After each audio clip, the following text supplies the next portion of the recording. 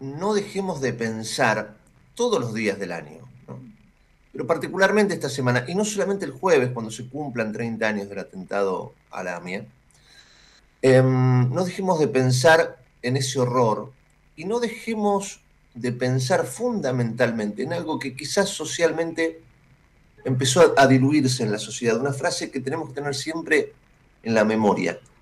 Ese día, ese día, no atacaron a la comunidad judía, no, atacaron a un grupo de argentinos, nos atacaron a todos. Eso no lo olvidemos nunca. Ese día nos atacaron a todos. Murieron 85 personas, hubo muchísimos heridos. Hay familiares que siguen reclamando, pero nos atacaron a todos. Por eso el reclamo es de todos. Por eso la vergüenza y el dolor que sentimos es de todos. No de una parte, no de una comunidad que sigue luchando, que sigue reclamando. Cuando no hay respuestas, cuando el caso está en la impunidad total, ese sentimiento de dolor y de fastidio no solo es de una comunidad, es de todos. Porque nos atacaron a todos. Por eso, tengamos esto presente. Porque es parte de lo, de lo peor que nos ha pasado en los últimos años. Es de lo más oscuro a nivel democrático que nos ha ocurrido en la Argentina, de los últimos años en la Argentina. Es un espanto que no haya una respuesta clara y que sigamos viviendo en la impunidad.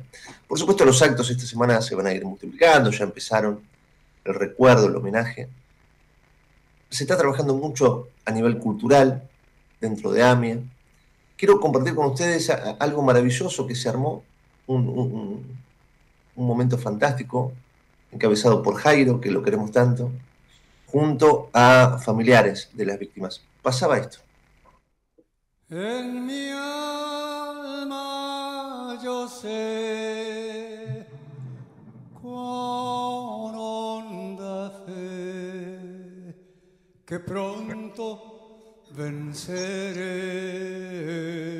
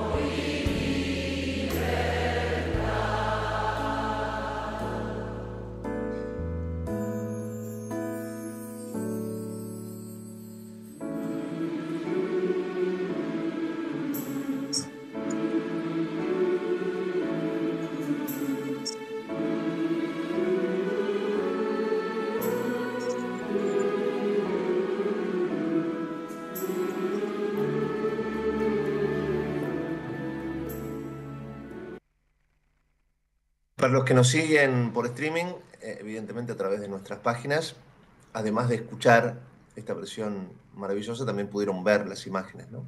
Allí lo tenías a Jairo, junto a ese coro fantástico que es ni más ni menos que familiares. Gente que sigue reclamando, y veías las edades, ¿no? Tan distintas. Porque claro, va, pasando los años, han pasado 30 años, las generaciones se van renovando. Y el pedido y el reclamo la exigencia de justicia sigue siendo el mismo. Estuvo al frente de, este momento tan, tan lindo como al frente de otros episodios que tienen que ver con el arte y la cultura y el recuerdo. Elio Capscook es el director de arte y producción de AMIA. Elio, gracias por estar allí. Gustavo Tubio te saluda. ¿Cómo va? Buen día. Gustavo, ¿todo bien? Muy bien, muy bien, muy bien. Em, por supuesto, ¿qué te voy a decir? No? Que primero felicitaciones por el trabajo que es fantástico, pero digo, ¿cómo, cómo se te remueve el alma, ¿no? el corazón, la, cómo, cómo, está viva la, bronca, la bronca sana en el sentido del reclamo. ¿no? Bueno, si, si logramos eso, eh, hemos hecho un, buen trabajo. Un buen trabajo, el material, claro, El, material que, que, vos presentaste es, básicamente es el encuentro, es el abrazo a los familiares. El año pasado habíamos hecho una canción eh, como La cigarra con familiares, que era la primera vez que los familiares eh, eh, hacían una, acción, una acción de este tipo. Y este año, de alguna manera, elevamos la apuesta y hicimos en el CCK 1.400 personas abrazando a los familiares. Los que estaban en el escenario eh, eran los familiares, los que estaban, y nos uníamos, eh, nos uníamos al ejercicio de la memoria, al reclamo de justicia, porque como tal, tan bien lo dijiste vos, eh, mientras no haya justicia, la memoria tiene que tener, tiene que tener la imagen del reclamo. Ojalá que llegue un momento donde solamente prendamos una vela pero hasta que eso llegue, eh, hacer memoria en tiempos de impunidad es exigir justicia. Qué tremendo trabajo de, producción, ¿no? Juntar a toda esta gente. Yo he hablado, por supuesto, a lo largo de estos 30 años con, tantos familiares que eh, en algunos casos eh, el, dolor, lo, no te digo que los inmoviliza, pero viste, a veces exponerse, hacer un trabajo de estas características como que quizás no tienen la fuerza necesaria para hacerlo. Y por eso, insisto, es maravilloso lo que has hecho, porque demanda, me imagino, todo un equipo de cuántas personas para hacer esto. Mira, nosotros trabajamos durante eh, el Departamento de Arte y Producción de AMIA. Eh, una parte importante está dedicada a todas las acciones de memoria. Obviamente que tenemos una agenda terriblemente amplia, amplia porque existe el espacio de arte AMIA, donde eh, convergen artistas emergentes y consagrados de artes visuales. también es parte nuestra el Centro Marturkov, que es el centro más importante documentación que, registra el encuentro entre los judíos y los argentinos. Pero básicamente el, el, equipo de arte y producción somos cinco personas, en el cual, bueno, una, una acción es esta, eh, otra acción es, hoy tenemos la última función de la silla vacía, es la primera vez que los familiares, que eh, junto a los familiares hacemos una obra de teatro, eh, en las redes de AMIA se pueden encontrar con más de 130 influencers, donde desde el 18 de junio, que nosotros empezamos el mes de la memoria, están contando lo que recuerdan del 18 de julio y por qué, del 94, y por qué es importante recordar y seguir exigiendo justicia.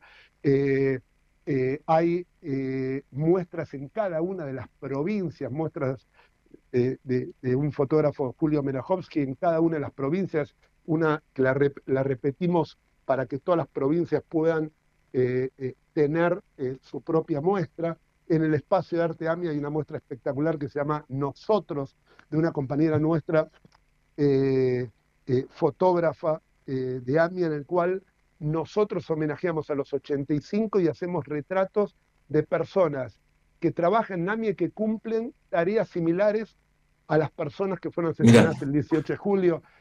hay 30 embajadas que están haciendo actos culturales, hay, hay eh, eh, eh, actos en 48 ciudades de 25 países.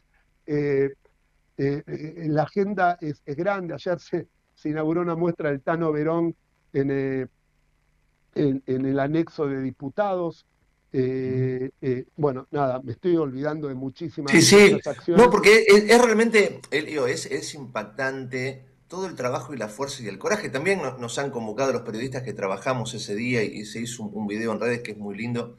Em, bueno, lo único que hacíamos es recordar ese, e, e, e, ese, momento que es inolvidable. Yo te puedo contar cada, cada segundo, cada minuto de esas 48 horas que viví cubriendo aquella tragedia, porque claro, ¿cómo, no, cómo lo vas a recordar? Es que eso es fundamental, Gustavo. Eso, a ver, eso es fundamental. ¿Por qué? Pues nosotros tenemos eh, el- el- vamos al trabajo conceptual. El trabajo conceptual es dividido en dos. Uno es hacer que los, las personas que lo vivieron es generar una excusa Exacto.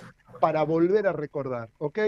La memoria necesita ayudita, necesita las efemérides, necesita de los lugares físicos y simbólicos de la memoria, necesita de todo lo que se pueda generar para hacer que la persona vuelva a recordar. ¿Qué es volver a recordar? Traer al presente aquello que sucedió hacerlo presente. Pero el 60% de la población de nuestro país no tiene memoria vivencial. Entonces, ¿qué necesita la construcción de una memoria colectiva? ¿Cómo se genera la memoria colectiva? Con testimonios. El testimonio puede ser, obviamente que el testimonio de un familiar, el testimonio de una víctima sobreviviente, una canción también es un testimonio, una muestra es un testimonio y tu testimonio es un flor de testimonio. ¿Por qué?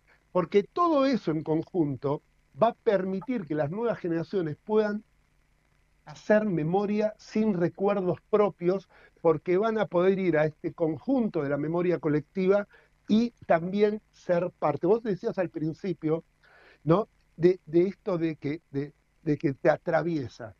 Y la realidad es que 30 años después, 30 años después, lo que tenemos que hacer con las nuevas generaciones es algo que está tan, tan, tan, pero tan lejos que a veces es duplica la edad de existencia de un adolescente de 15 años, es acercar esa imagen, acercarla, acercarla, acercarla hasta que produzca eh, eh, eh, una propia identificación. ¿Por qué? Porque nosotros, la identidad de nuestro país, es en definitiva lo que elegimos recordar.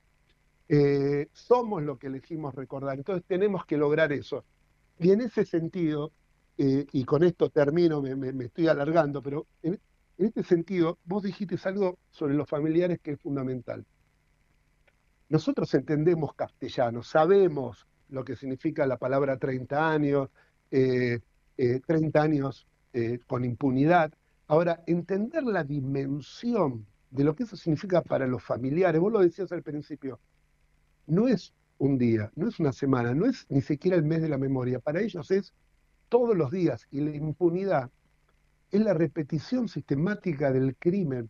Mira, en la obra de teatro que te conté, donde se suben cuatro familiares, creo que es lo más cercano a poder entender lo que es vivir todos los días construyendo sus propias vidas con alegría, pero teniendo esto sin poder cicatrizar, porque como dice el video, sin justicia es imposible cicatrizar la herida. Elio, te dejo la, la- la última reflexión y obviamente te, te- te agradezco enormemente esta charla, pero digo, no tendría que ser distinto este homenaje al del año pasado, ¿no? Porque digo, es simplemente un número redondo, pero ese número redondo es significativo. Y, evidentemente también se está convocando a la gente que participe, que esté activa, que no, que no solamente lo mire de afuera, sino que se puede participar, ¿no? Em, a, a- a 30 años, Helio Capscup, eh, ¿qué, siente en el corazón, teniendo en cuenta que no baja los brazos como tanta gente, porque la, impunidad no, no, no, te, no te ata las manos, no, no te- hace bajar la cabeza, todo lo contrario, ¿no? Te, te impulsa a seguir adelante con más fuerza. Eh, bueno, primero, gracias por lo que decís. Segundo, me parece que en 30 años aprendimos mucho. Aprendimos. La verdad que nunca me hicieron esta pregunta, pero eh, eh, siempre es bueno como mirar sobre el trabajo. Nosotros también cometimos errores. Eh, nosotros hablábamos antes de, de víctimas y empezamos a hablar después de mucho tiempo de víctimas fatales, porque entendíamos que había otras víctimas. A los heridos los empezamos a llamar sobrevivientes y a los sobrevivientes los empezamos a llamar víctimas sobrevivientes. El concepto de víctima, eh, que, para nosotros eh, nos parecía redundante decir víctimas fatales, para entender la dimensión de lo que es la tragedia. Eh, hay víctimas sobrevivientes que esto los atraviesa también todos los días, que perdieron, que perdieron, algunos perdieron a, familiares como sus padres, pero también perdieron compañeros de trabajo, que eso los atraviesa. Eh, al principio nuestro único objetivo era lograr esto que vos dijiste al principio, que si bien el epicentro fue la comunidad judía, eh, el asesinato, el ataque, el atentado fue a la sociedad argentina. Y yo creo que ese fue uno de los mayores logros eh, mayores logros, que es que los, por ejemplo, por ejemplo, los artistas cuando los llamábamos hace 30 años, nos decían, estoy con ustedes, solidaridad al 100%, ¿no? Era solidaridad con alguien que le había sucedido algo que no era yo. Y eso con el tiempo cambió automáticamente. Hoy parece que es normal, ¿no? Pero al principio no lo fue. Eh, al principio no fue. Y hubo ahí un proceso muy, muy significativo de ambos lados, en el cual hoy los artistas dicen, ¿qué hacemos?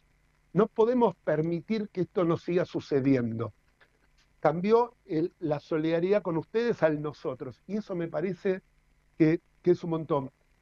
Eh, el jueves pasado mañana eh, eh, los esperamos a todos en el acto central a las nueve y media en Pasteur 633, entrada por Corrientes y Pasteur. Ahora nos dieron la gran noticia que la estación Pasteur Amia va a estar activa a partir de ese día a las seis de la tarde. así que, bueno, no sé si si te contesté la pregunta, pero traté de hacerlo. Elio, querido, eh, te mandamos un gran abrazo y, nuevamente felicitaciones. Felicitaciones. Gracias, gracias, por el espacio, gracias. Elio Kapsuk, eh, el director de arte y producción de AMIA, a 30 años de este brutal atentado. 11 y 25 estamos en la trinchera. En mi alma yo sé